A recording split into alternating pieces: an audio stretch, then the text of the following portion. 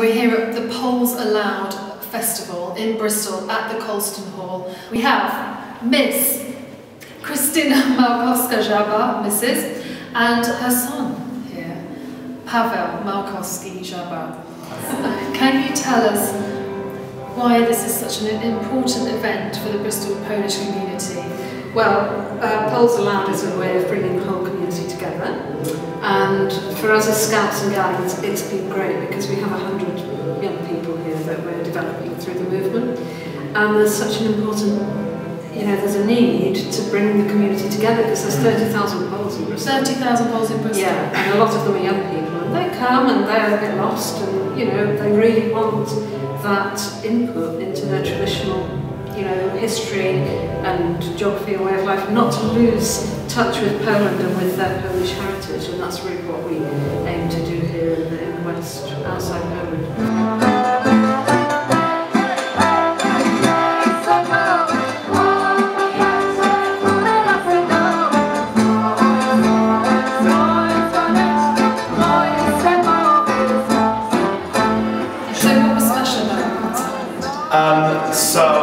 Really exciting to take what we normally do in a very kind of small context, uh, you know, just within ourselves, and do it um, as something more of a performance.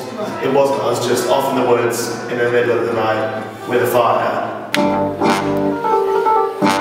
I have to say it's really exciting to be here with you Scouts today in Harcerzy and Harcerki in Bristol because um, I, I wrote a song about um, a Polish scout who escaped from Auschwitz in 1942 in the commander's car and his name is Kazimierz Piechowski and both Christina and I, we, we go back a little bit, we go back Yeah. to 2011 when Kazik came to England and now you're doing a remarkable thing, um, Christina. You are now doing an extensive study of the situation of Polish Scouts in Auschwitz during the That's Second World War. And I understand there were 150,000 Polish intelligentsia who were murdered there. Would you like to tell us a little bit about your study? Are you, are you able to talk about your Well, yeah, a little bit? Yeah, yeah, yeah. It's Let us into a secret. Yeah, the Boy Scouts of Auschwitz will be published um, in 2014 and what happened in Auschwitz in the first two years, 1940 to 42, was that the Germans had the camp specifically as a way of destroying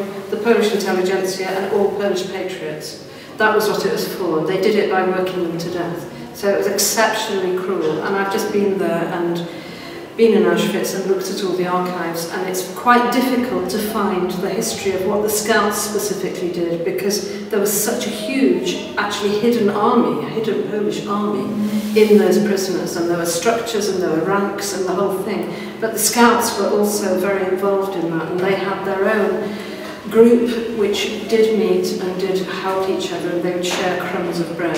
And they would watch out for the youngsters, the young people, the ones under 21, who were particularly um, prone to psychological trauma, you know, it was very traumatic, but psychological breakdown. And, you know, the older men were very keen to rescue the youngsters, and they did. Some of those early scouts did actually survive. And in fact, last week at Holocaust Memorial Day, I interviewed some of them because they're still alive, like Kazimierz, who is now 93.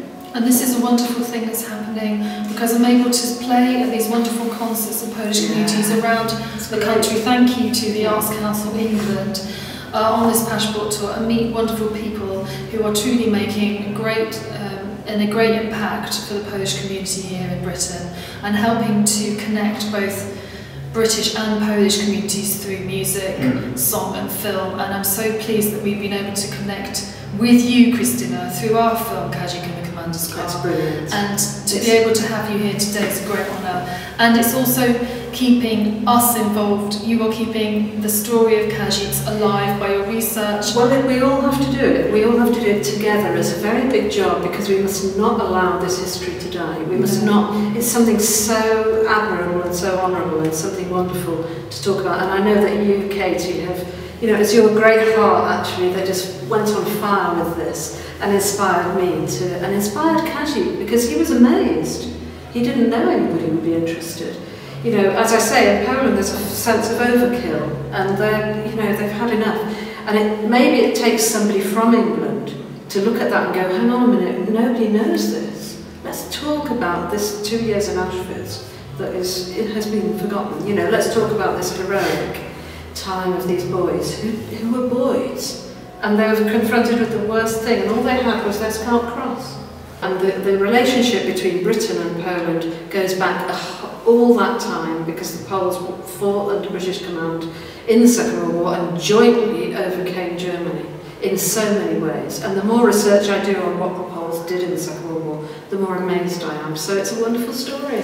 Thank you so much to the Polish Scouts here in Bristol and we're so honoured to be able to be here, to play for you all, to join in for you to join in in our concert and sing a wonderful song, Hej Sokoły, to the Polish community here. And the next generation. And the next generation. thank you, thank you, Christina. Thank you. Thank you, Pavel. And let's come back to Bristol soon. We're having a fantastic time at Poles Aloud Festival here in Bristol. Yeah. And long live Great Britain, long live Poland. Thank you. Absolutely. Dziękuję.